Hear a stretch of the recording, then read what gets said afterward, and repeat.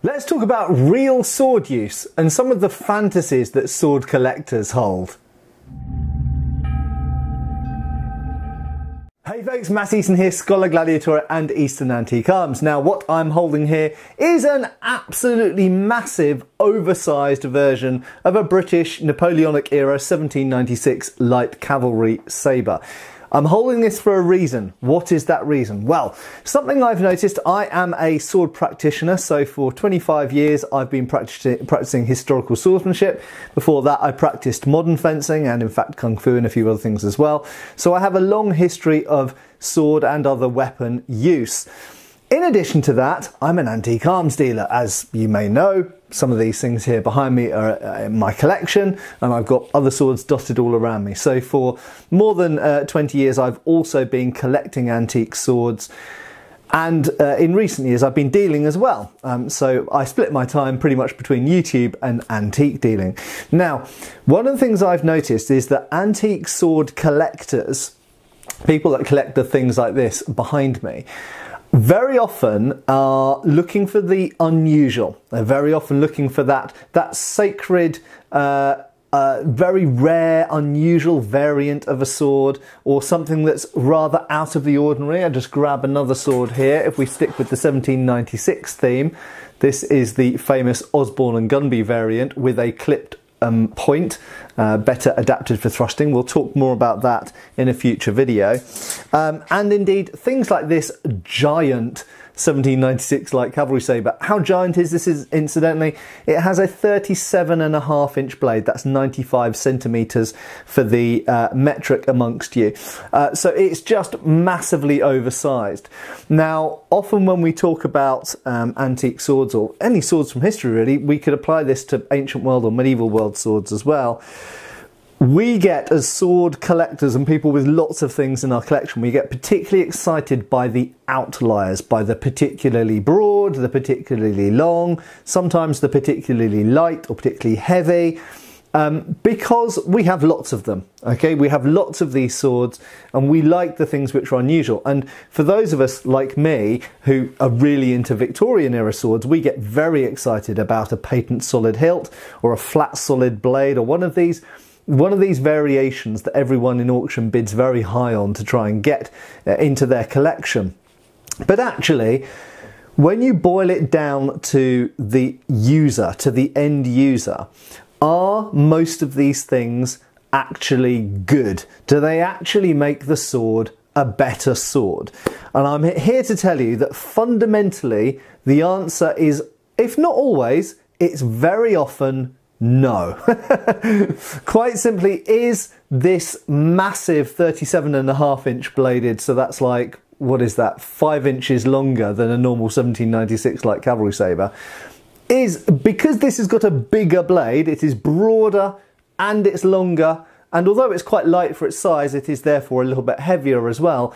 Does that make it better? Does the extra does the extra blade size compensate for something? Does it make you feel more secure?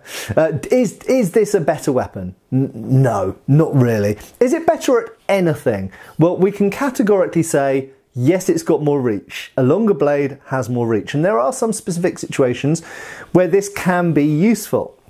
Clearly, if you have um, an armed force equipped with 14 foot pikes and they come up against an armed force armed with 17 foot pikes, the people with 17 foot pikes are going to have on average a slightly better uh, better go of the fight aren't they? They're going to have a slight advantage over the ones with slightly shorter pikes.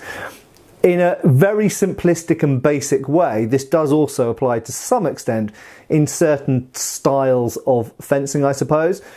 There was a trend towards longer and longer rapier blades at a certain point in certain parts of Europe.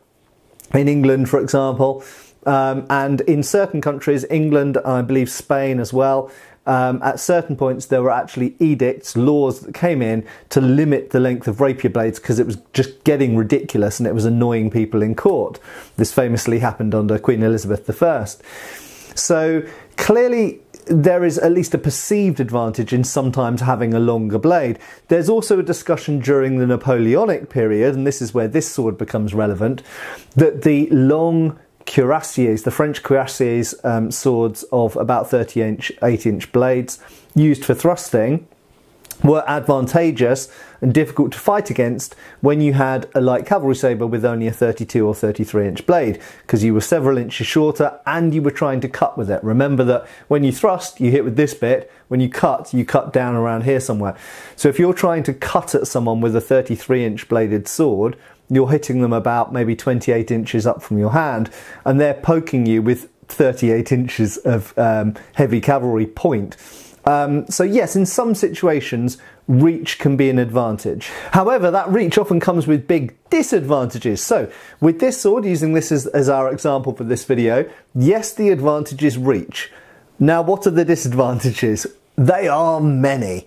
Uh, the primary and most important one to a swordsman, and as a practitioner of saber of military saber fencing based on 18th and 19th century sources, is that it makes it far less wieldable.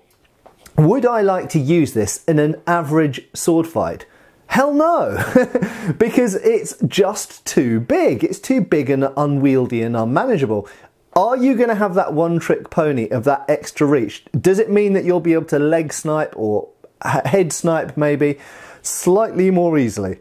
Yes, it does. However, Everything else pretty much is disadvantaged. It's slower to defend with, um, it's slower to move around, it's more tiring. Um, it, it, changing cuts, if I want to do a feint and then a real cut um, to, to successfully land the cut on the opponent who's defending themselves, uh, it makes it harder and more cumbersome to do that with the with the longer and slightly heavier blade, with the uh, inertia further from the hand, this kind of thing. So, generally speaking, it is just far less wieldable. And this is true if we look at the French cuirassier swords. So if we compare a, a, normal version of a 1796 light cavalry sabre, if we were fencing on foot, so we're not on horses, we're not charging, we're not doing none of this, it's just one on one fighting on foot.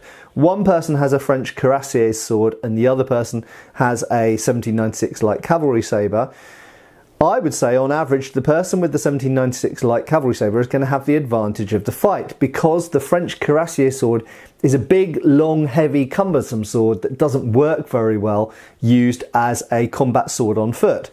Surprise, surprise, there aren't many swords used on foot that balance and weigh similar to a French cuirassier sword because they were built for a specific purpose for sitting on large horses and, develop, um, and delivering a heavy cavalry charge. So different swords are built for different purposes, and some swords are better at fulfilling a multitude of roles, and some swords are more specialised. If we come back to the Victorian swords for a second, does a patent solid hilt, or patent solid tang as they're sometimes known, so full width tang, does it inherently make the sword better to fight with? No, it makes no difference whatsoever. And some people have argued, I, I think this is a bit unfair, but some people have argued it's just a sales gimmick. Now, I don't fully think that's true, but I think it's partially true. It has a it has a whiff of truth about it. And the fact is that a patent solid tang, a full width tang, is mechanically stronger. Okay, it's it's more laborious to make, it's more costly to make, therefore more expensive, therefore more elite, more status. It's a showing off thing. But it does make for a slightly, it does make for an indestructible tang, basically. It means if your sword's going to break, it ain't going to break in the tang because that's the thickest bit of metal in the whole sword. Okay, so it does make an indestructible tang. But, and I've made this point in previous videos, a normal tang still does the job. So all of your typical cavalry have got a normal uh, tang on their sword, at least up until 1853 when they got a patent tang. Um, but all of your regular officers have got a normal tang on their on the officers' swords, and they're fine. They're perfectly strong, just the same as most medieval swords have that type of tang going through the grip. It works fine. It works well enough. Okay, so it works well enough to do the job. Equally, the blades, if we look at the various different types of blades, the slightly broader blades, longer blades, um, heavier or lighter blades, um, you know, different cross sections of blades. Some are fullered, some are unfullered, or some have a different type of fuller. These actually are relatively small details. When you're having a sword fight, what it really comes down to, yes, length is there, the weight of the sword is very noticeable, the weight and balance, they go hand in hand, and just the general wieldability of it. Okay, how easy can you use this sword? Most of these swords, really, when you're talking about different cross sections or difference of hilt detail, it is just that. It is just details. Um, so whether you've got a patent solid hilt or a normal tang, you don't really notice the difference once someone's trying to kill you and you're trying to hit them. Or if you were just fencing competitively, you wouldn't really notice the difference. Equally, if the cross section of your blade is a flat solid blade, which I love, um, and they do cut a bit better, or it's a normal 1845 Fullered blade, at the end of the day, it doesn't make a huge amount of difference. To actually fight with, it doesn't make that much difference. Yes, the flat solid will cut slightly better, but is slightly more flexible in the thrust. The Fullered blade is probably more durable, uh, but both of them, if you hit someone hard in the neck with a sharp one, it will partly sever their neck. If you hit someone hard in the wrist with one, it will partly or fully sever the wrist. They will both fundamentally do the same job. So to conclude, without wittering, wittering on too much, I hope you've got the basic idea. I think sometimes sword collectors who don't actually use swords very much, and this isn't a criticism, but I think they fetishize and fantasize about these odd variants or particularly long ones or particularly broad ones or particularly curved ones. And that's because they're collectors. And I'm one of those as well, okay? I'm not making this into a them and us situation. I'm both of these things, okay? I use swords and I collect them. Do I get happy when I find a particularly unusual sword which is very long or very broad or very heavy or very light? Yes, I do. I'm exactly like all those other collectors.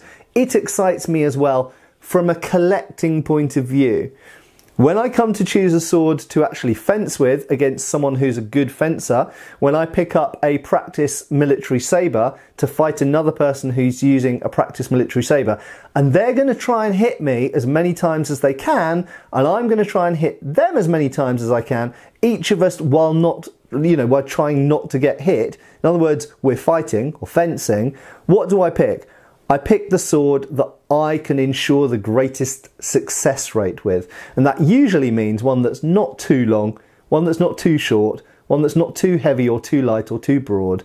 I usually pick something that's somewhere in the middle, uh, just with a few small details tweaked to my particular tastes, you know, the shape of the grip, the point of balance, things like this. But by and large, I don't pick the outliers. Outliers in history are outliers for a reason.